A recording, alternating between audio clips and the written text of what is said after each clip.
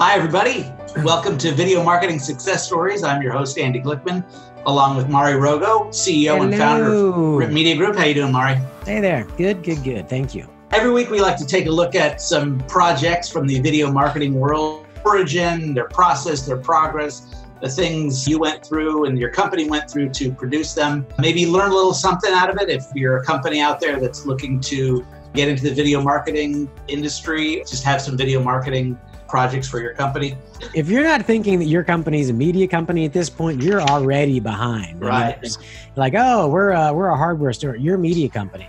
Oh, we're a Mm-hmm. bank. You're a media company because you know we're in construction. You're a media company. Look at the guy yeah. on podcast that he's sitting there like, here's how we you know fix a closet door. Dude's got millions of views. He's a Yeah. media company Yeah. and also happens to be Or he should be, right? I mean, you, you know, you, you can't, how can you exist in this in this space if you're not at the very least considering video marketing that's what keeps us aloft may they all re- may they all see the light and realize that they need videos and more of them i wanted to look through the vast rip media group library of videos the overwhelming library for things that catch my eye that we can talk about i think because it was centered in the music industry and yeah. just screamed rock and roll, which I'm a big fan of. The Line 6 series of Yeah. videos that you guys did, which looks so sleek, so clean, so bleeping cool, uh, that I, I really guitar to, amplifiers. It's Guitar amps, but it's like- cool. You know, so it's live action for those of you not familiar with it, we'll, we'll include a link.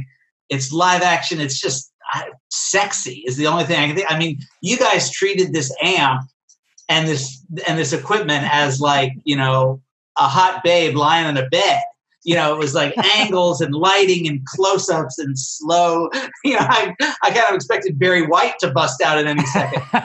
I'm curious, obviously, about like I like we always talk about the origin, how it came about, how you first got to meet them, how it became, hey, this is what we need, and then sort of how you settled on that style. Yeah, yeah, yeah. And I'm glad you mentioned it's a series because, by the way, and I you know what, I'm going to see if I can do a screen share here, and uh, let's see if we can put this thing up, and and I'll show you. All right. Ooh, yeah, we have some rock and guitar going with this Mhm, thing. mhm. And you're so true. It's so right. We made this thing a lifestyle. We made that amp a character in this, and we actually got a musical group. They helped us find it, of course, but they helped us find this music group. And we found other people that we went through casting that are musicians that use Line 6 guitars. And it was really kind of cool at the time. We were talking to Fender amp, which my brother's a musician and he always used Fender. And then he started looking at Line 6, and then these guys called. Mhm. So we ended up doing this Line 6 First, it was a video, and then it was a series of video. We did a 30 second version for commercials, a one minute version for their trade shows, a two and a half minute version for in store display, and then a much longer version that included a lot more like how to. So I think we did four or five and maybe more of those, you know, than there it was. So we just kind of let it play out there. It's just so when you hear the music, because it's coming through their own amp, it just sounds really, Mm. really great. So how did it come about? The question that you just asked me. So it came about from actually this one was a funny one. This one came about through one of the photographers that had done some work for them in the past. So they have a lot of still images and as you can imagine, you know, product shots and things like that. And they really wanted to amp it up, uh, pun intended Mhm, and you know show this new product that now you know now what four years later or something you know there's bluetooth amps all over the place but then it was very new to go without the cord without the cable mhm. so cutting the cord and the, the product did not exist yet. So that's why we have these product shots that were created out of cad cam 3d design models like this one right here. Mhm. and uh, you know the product didn't exist yet so we created it in the 3d world. You know they test marketed it and then they came out and became really really uh you know like a big seller big product. And the musicians like really you know kind of specific musicians really like line six and everybody you know every amp every guitar every drum set has its own sound so people really really love these guys and they're uh, they're here in los angeles like outside of los angeles in the Mhm. suburb but it was great working with them they're really cool and creative people Did they have any other style in mind or that you guys pitched that was part of the consideration? They had always worked with is another good question. So other style you know like when i go through the styles there's you know there's things like stop motion right? If you go with live there's stop motion there's speed ramp there's you know with actors without actors there's you know talking head you know that kind of thing. And then there's animation 3d animation 2d animation whiteboard animation. So they were thinking more live and lifestyle. They really are a lifestyle product. I mean you use this thing it sounds better you're cool. So they wanted to get cool hip young millennial and younger to kind of represent the brand. So they knew that. I don't think they had started off planning on doing the 3D animation. So that was something that we really, really wanted them to mix in is you know kind of throw the product out there but don't just throw it out there like it's you know it's got to be a part of this so let's show the old product they incorporated it like you said into the story so all these different things were happening and revolved around the mm-hmm. the amp. You know, it was like the party happens because the amp's there, and we mm-hmm. literally have a party scene. So we filmed for a whole day, a whole party scene, and in the video you just saw, I think you see it for three four seconds right and that is one of those funny things about live action you don't know what pieces you're going to use you can spend a whole day here and take mm-hmm. a couple seconds or it could be the whole day but you go through and you feel it out in post and what really tells the story the best yeah, I was going to ask about specifically about the live action production process. There's obviously a lot that goes into it, like you say, the shoot. You're you're dealing with the crew. What kind of considerations, especially as it differs from animation or motion graphics? Talk a little bit more about some of the the the process that goes into live action shooting and, and production there's a lot, Andy. I'll tell you what, let me tell you what's the same. So when you go through the process, right? You know, the beginning beginning process, the pre-production process is probably the most different of them all. What we do is we always start off with the idea factory, which is pitching we actually listen. We do a discovery session we listen to the customer. What are their goals? What are they trying to do? What's the call to action? Where do, what how do they want people to feel? And what do we want them to do at the end of the video? You know i want to feel good but i also want them to click on let's see a demo or where's the local store that i can go check this out? or you know or click like on facebook or whatever it might be. So you got to find out those goals. Then we come back and we pitch the concept. Okay, this could be live action, and we think it could be funny, or this could be sexy or sizzle, which is what we pitched here. Again, I always say this like sexy doesn't mean like, you know, models, you know, on a boat or something like that. It's just making something you know that's aspirational something you really want to be and is you know visibly attractive and you know in any way like i want to be in that car in that convertible that's sexy and it sizzles or you know it's you know sensual and intriguing you know that kind of thing s-t-u-f-f sexy touching unique funny and fear like i always talk about so we went for the sizzle you know in this one and so we pitched that. They loved the idea. And then you go out about with live action. Of course, now you got to put the, the pieces into place. So we're talking auditions, you know, we're talking locations, dates, you know, how much time in each location, because you're not just in one studio. That's that's a whole lot easier than going out with this. We were in probably five or six locations across Los Angeles, which is tough to get place to place. I mean, if you're in you know, outside of Milwaukee in a suburb or something like that, you know, all right, we'll get from here to there in 15 minutes. Mm-hmm. Well, here it's we'll get from here to here, which is three miles in an hour and a half, right? So, you know, and we're, we don't have helicopters to take us, so it's all consideration. You got to kind of do this bar graph of how much time, how much expense, and that kind of thing. So, you know, you go through the auditions, you you do the casting, you run that past the agency or the customer directly. You go for the locations, location scouts. Will this work? What's the lighting like? What's the lighting like at this time of day? Mm-hmm. Because if you're going to be filming all day, the morning to the afternoon to the night, totally different. And you got to keep it static because you got to make it look like all this happened within one minute, even though you're filming across a whole day. So there's so much that goes into live action when you ask a question like that. But once you yeah. lay all that out and you storyboard it, then you go about the production piece, right? So you have all the people in place producer, director, the director of photography, which is the person that holds the camera, really feels out what's going to be on lens and show that, you know, show that feel that the director has the best. You know, sound people, lighting people, etc. All, all the way down the line, everybody is critical. Let's say you get everything you shoot, you hope it came out how you hoped, or you hoped it comes out better, and then you go to post production, editing, sound effects, sound design, color correction, you know, deliver. So opposed to animation where all those things come into play except for the audition is really an artist creating either a character or a scene. Do you like this feel? Do you like that? You know the location the same thing. It's all from an artist hand or you know from scenes we design and that kind of thing. So in some ways animation can be easier because you can really see and feel it in the storyboards you know and kind of feel it come to life. It's like looking at a comic book and then the comic book comes to life. So there's really there's great advantages to both what what hmm. kind of i'm going to sort of put you on the spot here. What kind of parameters determine your preference for one over the other? Live action versus motion graphics. Is, Yeah, it, is it within the story that you want to tell? Is it the, the the the company you know the client itself? Is it just how you feel on a tuesday? So there's i'm going to give you my, my a couple of real sort of behind the curtain you know things that were going on and why i switched to become more of an animation company than live action all right? And here is the i'd say the big one. So the first one always comes from the customer. You know what kind of brand are they? What are they trying to show? If they're a lifestyle company you know consumer based b2c typically lifestyle people actors that sort of thing will play a bigger role right than than animation. Not always but it plays a little bit of a bigger role if you're b2b people are a little bit more you know they're at work they're going to watch this you know what how does it represent the product that they're selling you know even more so? It leans a little bit heavier on animation but it comes down to what they really want what that customer is going to open their eyes to.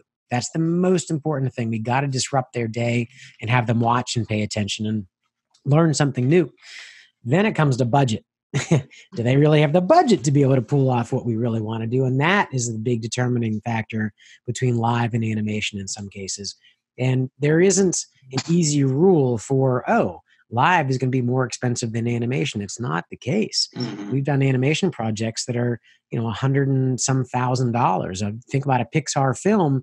Pixar films are one million dollars per minute one million a minute Mhm. right you know you can shoot for a whole lot less than that right right I, you know, I uh, should the, uh, the Hangover was, you know, the whole movie was thirty million dollars, including Bradley Cooper and you know and, and Mhm. Zach Galifianakis and all those actors in there. So you never know. You do know. You you got to look at budget. But you know, when these kind of things, people typically have like you know ten to thirty thousand of a budget. So sometimes at the lower end, you'll lean a little heavier on you know more motion graphic design and Mhm. animation. Higher end, it could be a blend of both. 3D animation, you're you know you can be much higher than that in budget. So that's where it goes. And then I'll give you the big thing. What happened to why I started switching from a lot of live to animation was the actors would come in and do fantastically well at the audition. They would crush it. They'd be perfect. They'd have emotion. They knew their lines and they came in different actors, different actors and actresses, different days, different projects. We've done hundreds, but they wouldn't be prepared. So we'd lose hours of they of them not you know not knowing their lines, not being able to communicate well. The other thing, weather. you know what happened all of a sudden great it's going to be windy or rainy that day. So now we have to delay everything and we have you know a 10 15 person crew in some cases have to delay mm-hmm. everything. Then you have to mm-hmm. go back to the customer and say i'm sorry we couldn't get this. Can you you know we, but we still have 10000 in expense because all those people showed up. So all those things you know it, that happens. That's that's that's what you got to be prepared for. Have a backup actor. Have you know this and that. Just higher and higher expense to really make sure you're going to do it well. And i started toying around whatever five or six years ago and said i don't have those problems. And i can be a little closer to home and the family if i go with a little heavier leaning on animation. Mm. and luckily the market said exactly the same thing. They wanted animation as well. So that's why we're you know a little heavier on animation than we are live but we certainly do both and it really depends on the customer. How big of a crew was that for for that video that you showed us that line six? Do you recall but how many Yeah. people you had on how many people we had there? So in, including well let's let's exclude the actors because each scene that you saw there had different levels of actors. One the party scene we had you know 15 20 extras as well as you know five or six band mates you know or band outside of that. I mean let me kind of run down the line because i can't remember exactly but it you know we certainly had four folks from the customer producer obviously you know me director director of photography two people for sound I think two people for lighting, probably three PAs, production assistants. And I'm not really counting right now, but I'm thinking we're probably about eight or 10. So wherever we traveled around, we were kind of looking at like 10 to 15 hmm. people plus the actors. Oh, I forgot the grips. Sorry. They're the ones that do all the electric and carry things and, and you know, or, or it's 10 to 15 people and you did it all in one day at different loca- at these different locations that was actually a two day shoot. Oh, okay Yeah, So, that was a two day shoot all the different locations. So we went from, you know, the, the kid and his, uh, you know, wasn't really his home and it really wasn't, you know, the, you know, the, a kid, you know, Yeah. he's like a 25 year old playing 18, you know, Uh-huh. in somebody else's apartment that let us, you know, rent for the day so that we could film. But you know, he was in there jamming on the guitar, so that was probably that was a half a day. We squeezed in another half a day at the studio. You know, we had about two or three people setting them up over at a sound stage. So they were playing. So when we got there with all the gear and same cameras and the rest of the folks and director, they were pretty much set up. So we actually could put up pull off two in one Mhm. day there. And the other day was actually two other Mhm. it was one short scene in the inside the house, and then outside was the party scene. So two days, four or five scenes, if I remember right. Then we mixed in the animation, Mhm. which, Well, I was, which was beautiful, and that took a few weeks Yeah. to create on its own. Well, I think what you came away with in the sample you showed and the other line six videos is very cool, really stylized, stylistic, interesting to look at. But obviously, as you say with live action, there's a lot of things to take into consideration and a lot of potential uh, pitfalls. So, always something to consider for our audience when they're considering some live action shoots, some live action videos. So, Maury, do you have any uh, resources you could recommend to our listeners that they can uh, check out either through your website or some other way? Sure, absolutely. There's there's some great resources that we put together out there. So three that come to mind really quick. One is uh, the Video Bot, T H E Video Bot, like robot. The Video Bot helps people make their own videos in seconds, and it's a resource that we've been using really successfully, and our customers have been using. So you know, you want to get back in touch with that cold lead, or you know, the person that hasn't gotten back in touch with you, or you just want to do some outreach. Um, or even wish somebody, you know, happy birthday, happy holidays. There are videos sitting in there waiting for you to personalize and you can literally do it in seconds and send it out. And there is a free it's free for the first period of time. So that's a great resource. Second um, if i'll give you a link to this but this is basically a um, uh, basically it's called the uh, create the salesperson that never sleeps. And this was actually compiled from all the frequently asked questions that we've had over the years from different customers of ours.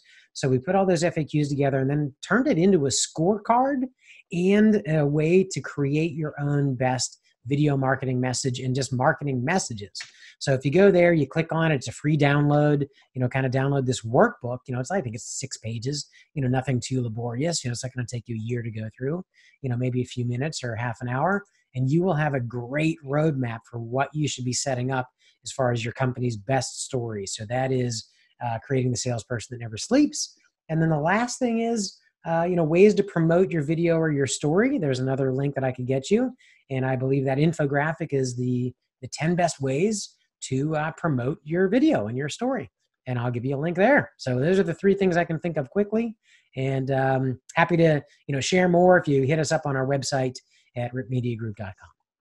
We're going to take a break. When we come back, I want to talk about some of the interesting animation styles that you guys have worked on. You mentioned that before. So I want to talk about a project that you guys have worked on in the past that has some interesting animation. Thank you for joining us on Video Marketing Success Stories. I'm Andy Glickman, your host, with Maury Rogow, CEO and founder of Rip Media Group. If you want more information on Rip Media Group, check them out at ripmediagroup.com. You can see uh, samples of their work and check out their blogs for even more tips. We'll be right back. Thanks.